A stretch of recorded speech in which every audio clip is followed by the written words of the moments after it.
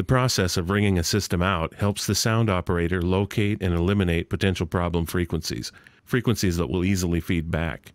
Turn the system up until it starts to feed back. When the system, whether front of house or monitors, is about to feed back, either clap your hands or rattle some keys to stimulate the feedback. Carefully ride the level fader to get the feedback to hold.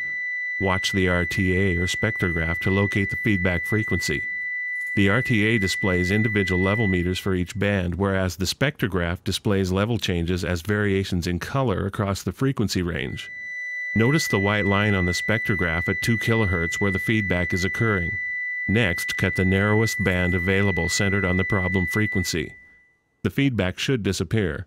Once you eliminate a feedback frequency, continue to turn the system up until another frequency feeds back, and then decrease that frequency on the equalizer. Complete this process on the first few frequencies, but try to minimize the amount of cut on each. If too many bands are dramatically reduced, there won't probably be much feedback, but the system might sound hollow and non musical.